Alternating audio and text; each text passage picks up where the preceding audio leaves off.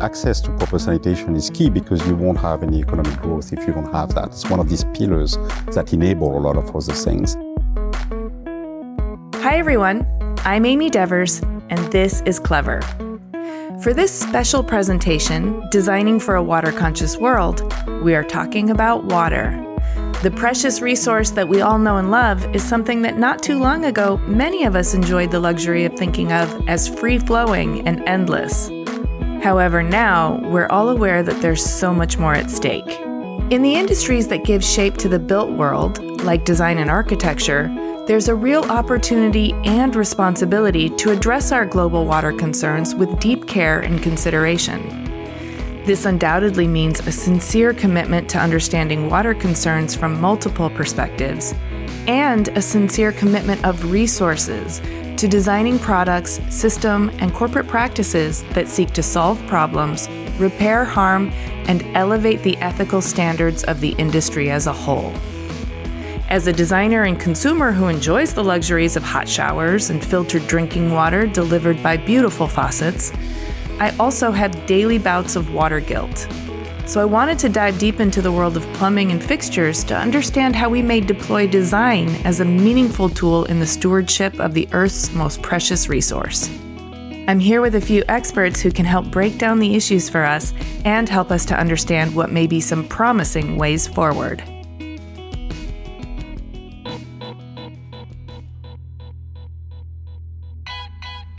So I'm Jean-Jacques L'Henaff, leader for Lixil Global Design Americas. And in that role, I actually oversees the design function within our company here in North America. I'm Alison Lyons, lead researcher for Lixil Global Design. So before we dive into the deep end, I'd love it if you could give me an overview of Lixil. I'd love to know the mission, the purpose, the science, the brands, the products that drive your business so I can also understand how you're interfacing with the global water concerns.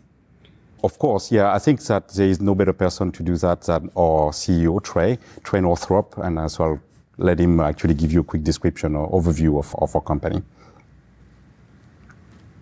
Hi, Amy. I'm Trey Northrup, leader of Lixil Americas. Lixil is a maker of water and housing products and is home to the trusted names in the Americas market, such as American Standard, Grohe, DXV, and INAX. We're a global enterprise with presence in 150 countries worldwide. I'm excited to be part of the discussion today. It's an interesting time we live in. Industries like ours are in, interacting with global citizens who prioritize resource efficiency and sustainable lifestyle when making that purchase decision. They want a simplistic and sustainable solution that will improve their lives as well as preserve the environment. It's time for businesses like ours to make that change and incorporate sustainability at the core of our strategy. At Lixil, we're designing and developing beautiful, high performing products and innovative solutions that reduce energy consumption and waste production. We use human centric, sustainable design at the center of all of our solutions. And we are combining meaningful design, accessibility to all, and a responsible business growth to create value for people and the planet. And to follow up on what Trey was saying, in order to actually understand our consumers, we have set up eight different locations around the world to put our design studios. We have about 130 designers, and that give us access to regional markets and understanding better what our users are looking for in each of these markets. So we're located in Singapore, Tokyo, Düsseldorf, London, New York, Shanghai, and through all these different studios, see them almost as antennas to the market to pick up all the signals that our consumers are sending us. Oh, that's really interesting. And so you're tailoring your approach still through people, but people have different ways that they engage with water and culturally and in different locales.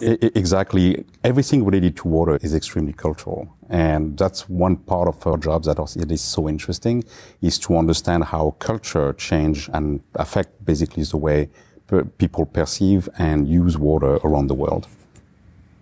Maybe you're the guy to ask then. You can help me understand these water problems with a little more clarity instead of just a fog of existential dread.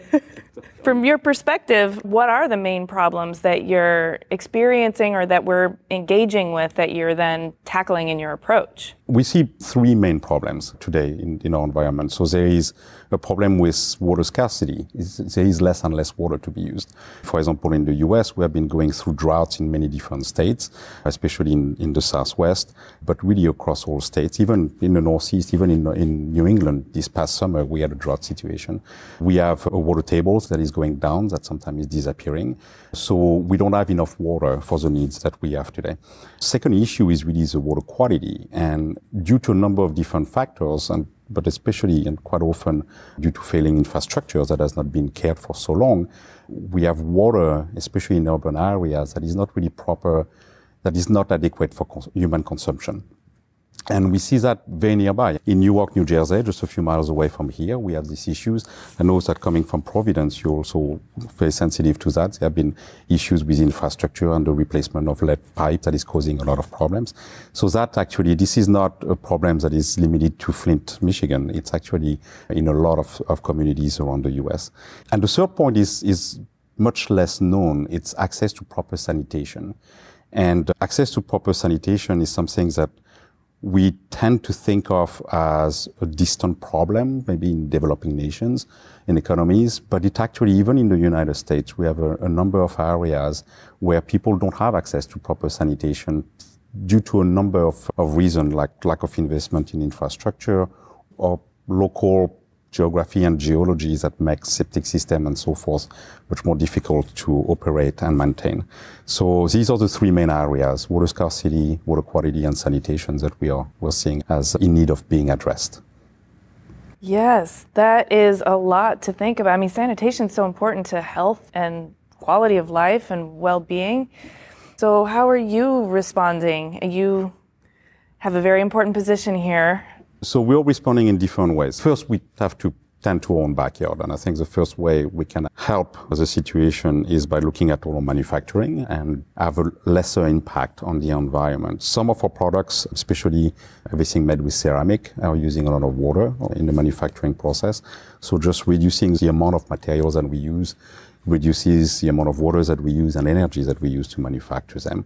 We're looking, of course, this is not water, related, but we are looking at using renewable energies for factories. Like we have a factory, for example, in Monterrey, Mexico, that is using 90, over 90% of its energy comes from renewables. So we're trying to really, from a manufacturing standpoint, be as light touch on the environment as we can. This also um, applies to the size of our packaging, the size of the product, so that we can reduce transportation um, emission and in the process as well. That's the manufacturing side. That's how you're trying to be part of the solution, not the problem in terms of the generation of your products. And we have the objective of being net zero for our manufacturing across the globe uh, by 2050. And from the product standpoint, how are you responding? So, from a product standpoint, there's a couple of different approaches that we are taking. One of them is really all our products today are WaterSense compliant. So, we are reducing the amount of water that is being used in our product. When you think about showers and faucets and toilets, we're basically optimizing the use of water so that the, the user experience is still very positive, but we're not using as much water as we used to in the past. Can we back up for a second? Can you tell me what WaterSense compliant means? So WaterSense is a label that was established by the EPA, basically set some standard in terms of, of water usage. Okay, and you're saying all your products are WaterSense compliant? Everything that we are putting on the market today. I'll add another thing, and one our flagship brand, American Standard in the US, has a tradition of really combining performance, which is the use of less water, with a real deep concern about the user experience. And that's something that it sounds self-evident, but it's not. And very often, after the EPA put some requirement on the use of water in toilets, for example, 25 years ago, the user experience was really not positive. They were clogging all the time and so forth. The low flow toilets? exactly. So, so we have a tradition uh, at American Standard of really making sure that yes, we can use less water, but the user experience will not degrade. And beyond optimizing the use of water through our products, we also look at the quality of water because we spoke about how it's deteriorating in our communities in the United States these days. So we have different products that incorporate filtration technologies, new filtration technologies that really allow you to have access to really good quality water on the tap in your home at a reasonable price. So Still on the optimization topic, uh, we're also developing products that are connected so that in the situation of a whole home or an entire building for a commercial system, we can optimize the use of water. We can, most important, reduce leaks. Leaks actually account for 10 to 12% of, of water consumption in a home. And so by having all these systems that monitors the use of water, we can optimize that use and reduce it quite effectively. Okay, so I just want to make sure I'm clear on this in your own backyard, you're handling your manufacturing, your product development, your distribution and sales in a way that is trying to be less of a problem and more of a solution. And then from the product standpoint, you're making sure you're compliant, but you're going beyond that in terms of designing and developing systems that optimize by monitoring and you're also filtering. That's a lot, and I love that you're dealing with all that, but what does it look like? Installing a water monitoring system it really does have a profound impact when it comes to water conservation. We have one great example, which is residential, and that's our Grohe Sense and Guard product. And with that, you can actually monitor your water consumption right on your phone. So when it comes to something like that, you might be living in a community where water isn't so scarce or top of mind, and yet there it is right on your phone, helping you understand your usage, allowing you to be more responsible. When it comes to commercial spaces, we also have a very comprehensive suite of products, and that is our American Standard Detect Link. And how that works is it's also about monitoring water consumption, but it's actually monitoring and preventing clogs and leaks, which is critically important when it comes to a commercial building. It also means that for the average user, you can walk in and enjoy a nicer bathroom that hasn't experienced a recent leak or there isn't a clog. Yet another example would be that we do want the user to be able to save water and feel like they're making you know, an impact.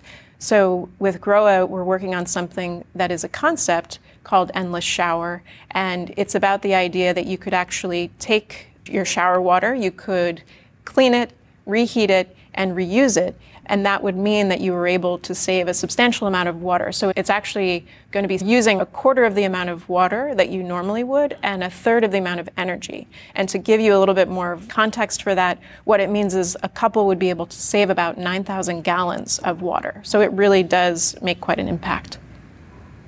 That sounds like I have to have a big tank under my shower. What's the practicality of that circular endless shower system? Because it sounds like something I'd really get into this idea of saving 9,000 gallons of water, but is it only new construction? It can be retrofitted, but it is actually a constant loop. It's not storing the water, it happens in real time. I would like to add one thing about that. A lot of what we do, I spoke about user experience earlier. That's a perfect example of um, if you look at, at limiting the use of water in the shower, for example, just by limiting the flow, which is what some regulations are trying to do, mm-hmm. I may have no problem with it, but you have longer hair than I have, you're going to take longer showers. It's got to get the shampoo out. So as a result, you end up not saving water and have a poor user experience. And I think our design process and our approach that is very user centric really focuses on preserving that user experience and achieving the savings that we need to achieve. So that what uh, was the baseline for these systems that we are developing with our, our sister brand. All right, I got one more practical question. You said it's 10 to 12 percent of water that gets wasted through leaks. Are we able to detect those simply by monitoring the usage and we can say, hey, no faucets are on, but I'm still losing water. Therefore, there must be a leak somewhere? Or is this something that's wired into the system? We have basically a, um, a, series of sensors that monitor the water consumption in an environment, a home or commercial building, and algorithm that actually can pinpoint which product actually is leaking based on, on, on the water main, basically what the consumption is. It's a learning system and, and it, it monitors every single point of use and it can detect if there is a change and if suddenly you have a leak somewhere. Yeah, and to go back for one moment on water filtration, I wanted to make sure we talked a little bit about our two faucets. So we have on the American Standard side, Saybrook faucet, that's a filter faucet. And on the Grohe side, we have Grohe Blue. So they're both offering great quality water with really easy to use interface. Grohe Blue is also not only filtered, but it could be chilled or sparkling. So making sure we capture all of those needs of our consumers. Maybe just to add on this, that's where you can see the power of having a global organization. One of the area where we really excel is ceramic, obviously, and we have R&D labs in Japan that really are working on fascinating things that have to do with ceramic. We actually took their knowledge and use it in the filtration, in the filters that we develop to be able to do, to have a filter that lasts longer, that is much smaller, therefore easier to change. And again, I'm going back to the experience. By making it simpler and lasting longer, we actually make a product that is better for people to use and, and, and give them that access in a, in a much easier way. So, when looking at all of these big issues, how does it get filtered down not to use make a water pun how does it get filtered down through the company and turned into a tangible plan of action well, a couple of examples. Internally, we, we always promote design thinking and innovation. And so a couple of years ago, we actually ended up funding a, an internal startup. It's called Adrific. It's launching actually just right now. And what it does is that it takes the best technologies to optimize the use of water in a home and connect them to allow you to, as a user, to optimize the use of water in, in your in your home. So Adrific is, uh, is launching a, a, whole collection of products and, and applications that will help you in this direction. It's interesting that a co- large corporation like us actually decided to actually to, to fund a small team just to accelerate innovation. And you're going to see the impact that it will have in the industry in the next couple of years, I think. So it's a bit of a test kitchen. It's actually a test house because we're building two houses, one in Germany, one in California. So we're going to actually be able to not only roll out all these products, but continuously test them and improve them. Now, from a design point of view, we have a really meaningful uh, research process that starts every project that we do that really revolves around the user and the consumer. So that's internal, but we also go outside. We have a partner, uh, Stylus, that really help us understand deeply and very holistically what the issues are and how we can connect with our consumers and solve these issues for them. And what's an example? How would you work with Stylus? What kind of information do they provide for you? We have actually joining us uh, Amy, who can explain that a little bit better. Hi, Amy. Nice to meet you. As Jean Jacques said, we've been partnering with Lixil Global Design for almost 10 years. My name is Emily Gordon Smith, and I'm the content director and sustainability lead at Stylus. And we believe that the work Lixil is doing with sustainable water programs is really, really important. So we're thrilled to be part of such meaningful work. In fact, uh, the importance of sustainability and eco friendly environments means that we really think that there's going to be a huge focus on creating and maintaining a light impact home in the future. Uh, we know that eco friendliness remains a really top priority for both brands and consumers. And especially during these times of rising household bills and the climate crisis, eco aligned consumers are really increasingly ensuring that their homes are low impact, sustainable, and even self sufficient. Water demand will soar in developing regions over the next few decades. But meanwhile, almost half the global population lives in areas that are potentially water scarce for at least one month of the year, according to the UN. So, companies are becoming ever more clever in their designs to help homeowners conserve water. For example, a new shower head was created, which makes saving water much more intuitive. Users simply uh, tilt the shower head upwards to briefly stop the water flow while they can apply soap or wash their hair. And then it tilts down to rinse off. Another example is cosmetics brand L'Oreal and Gjosa, which is a Swiss startup. And they're working in partnership to develop a salon shower head that dispenses a shampoo and rinses hair using much less energy and water and this specially formulated shampoo is easier to rinse, while the shower head uses a patented uh, water saving design. Lixil Japan has uh, launched Revia to use recycled plastic and wood to create a multitude of products. And now we're actually seeing other brands responding to the desire for more eco friendly home products by, again, repurposing waste as a resource and in this case, tackling plastic waste has never been more appealing. Uh, the distinct flecked or swirled character of upcycled plastic products shows how um, various brands are making a commitment to reducing post consumer waste in innovative and long lasting solutions. Similarly, uh, Lixil's German brand Grohe has partnered with Mater to use its plastic waste from bathroom materials in new furniture, such as this shell chair and a table. And keeping with materiality, earlier this year, IKEA announced a new iteration of its very famous uh, Billy bookcase. Uh, the previously used veneer is now replaced with a high quality paper foil, and the plastic edge bands are now also substituted with paper. So, this means that the majority of materials used to produce the bookshelf will come from new renewable resources. And now, shifting gears, we'll end on the idea of looking at bathrooms in the context of personal health trends, as well as bigger public health issues. With our health now being in the spotlight more than ever, there is a major focus on monitoring the health conditions of our bodies. And this type of monitoring will be instrumental in identifying public health issues. This is a smart toilet developed in the Netherlands by the Institute for Water Education that collects data from human waste. And the idea here is that it really gets ahead of um, emer- emerging health and sanitation problems. And there's actually huge commercial opportunity in off grid toilets and new sanitation technologies. This market will be worth as much as $6 billion annually by 2030. That's according to Boston Consulting Group.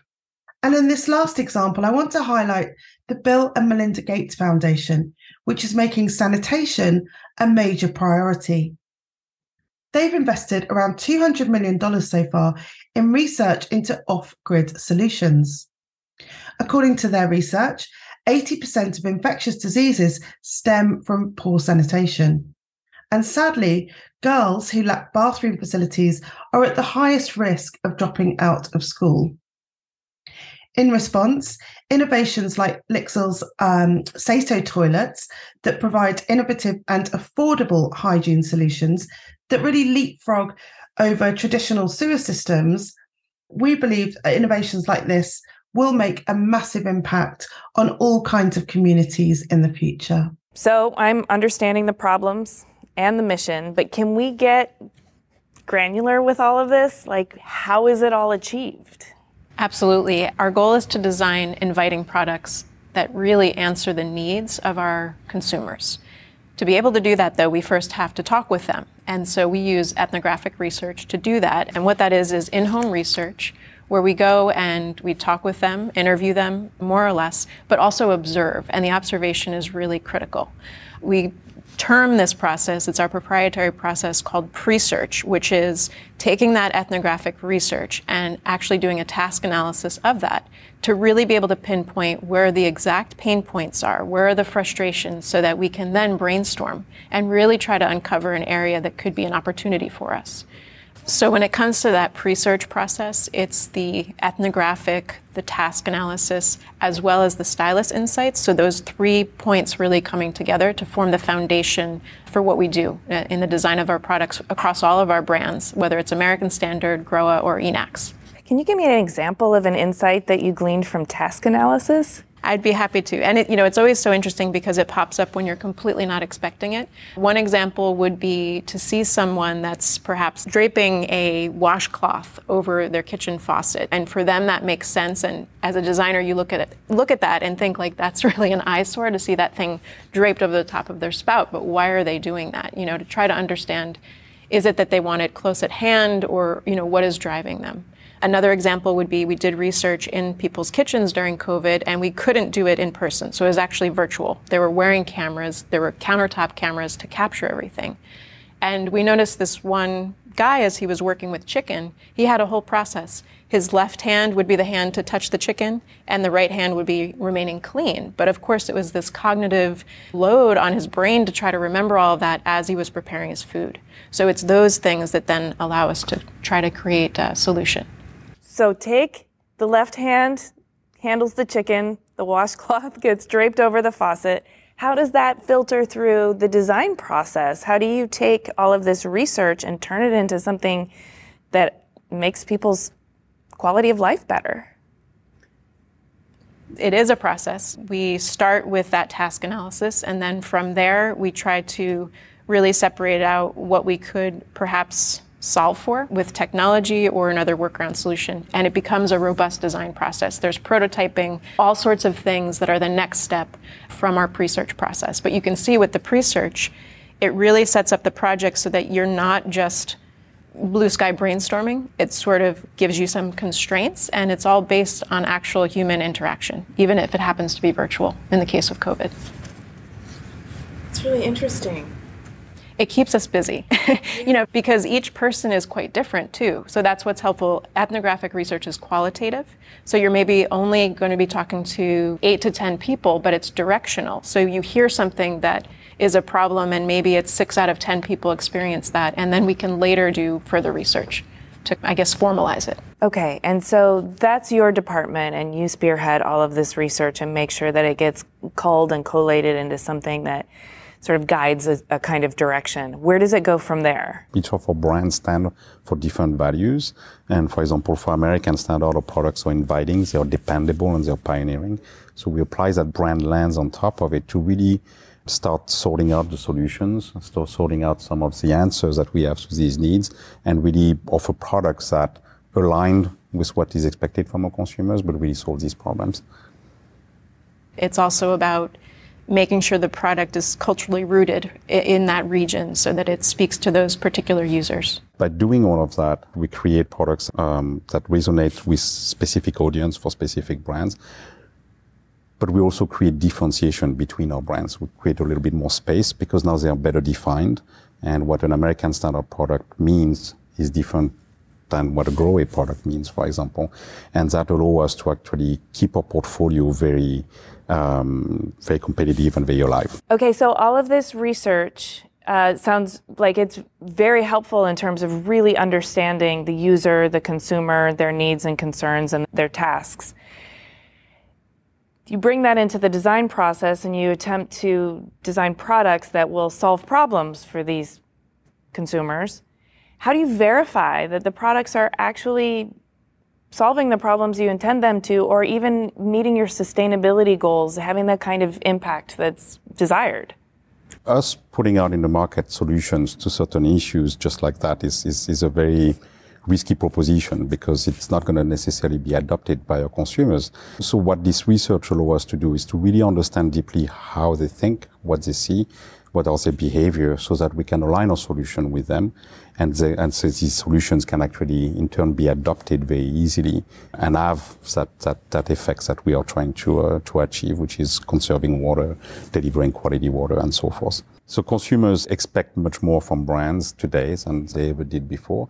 They want to be able to trust us. And I think it's important in order to be trusted to understand our audience and take that understanding and bake that into our design so that it actually can be accepted in terms. If, if we don't deeply understand our audience, we're never going to be able to create solutions that will satisfy their need and will help them enjoy their bathroom, their kitchen more. So consumers accept, expect much more from brands today than they ever did before. They want to be able to trust us. And I think it's important in order to be trusted to understand our audience and take that understanding and bake that into our design so that it actually can be accepted in terms. If we don't deeply understand our audience, we're never going to be able to create solutions that will satisfy their need and will help them enjoy their bathroom, their kitchen more. That is so true. Understanding each other is the foundation of a strong relationship. Exactly. Exactly. so you're doing a lot of really incredible research and development here. As an educator, I'm always really interested in how you're sharing your knowledge. How are you cross pollinating and building community outside of just your own bubble of water issues? And how are you coalescing around the greater community to kind of tackle these together? We started a collaboration a long time ago with the Bill and Melinda Gates Foundation and created a, a toilet for communities in developing nations. I mean, sanitation, access to proper sanitation is key because you won't have any economic growth if you don't have that. It's one of these pillars that enable a lot of other things. So what uh, Lixil has done is that we actually created uh, a division that focuses only on that and as a, our SATO division. Uh, we have touched the life of over 35 million people already, and our goal is by 2025 to reach that, to move that number up to 100 million people, and basically providing uh, safe and proper sanitation uh, in their communities. What's the product? What did you develop for this? It's a very simple toilet, costs less than $2, and it basically utilizes local manufacturing facilities. So it's also, also not something that we are exporting there. It's something that is made in the communities. It's extremely simple, it, and it allows uh, communities to create these public lat- latrines that uh, are safe and that eliminate the diseases associated with lack of access to, to sanitation. I mean, you have to understand that today in the world, you have about 700 children that die every day for lack of access to proper sanitation. So that makes a huge difference when you can offer a solution that is affordable, that is sustainable, that is that can last a long time to these communities. That's just one project, but we have a, an, another one also that is starting now, which is a coalition of corporations around the world that include PepsiCo, Microsoft, uh, Logitech, and McKinsey, and, and so forth, that uh, we joined this year.